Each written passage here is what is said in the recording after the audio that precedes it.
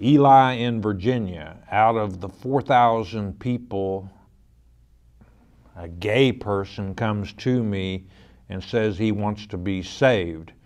Is it more important to feed the 4,000 people than to help the gay person?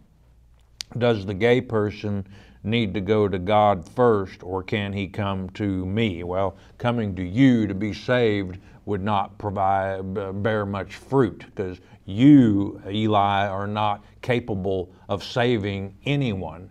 Uh, it is our job to plant seeds. It is our job to hopefully lead people back to our Heavenly Father.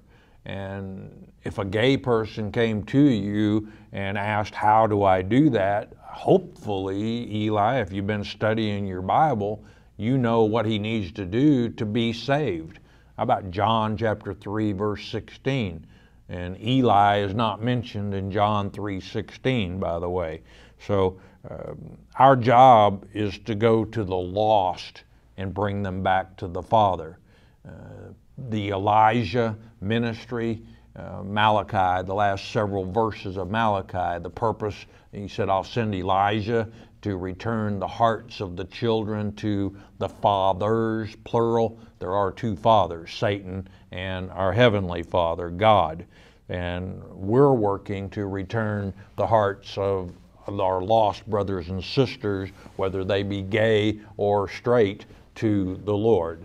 So, uh, and that's how I would answer that. I am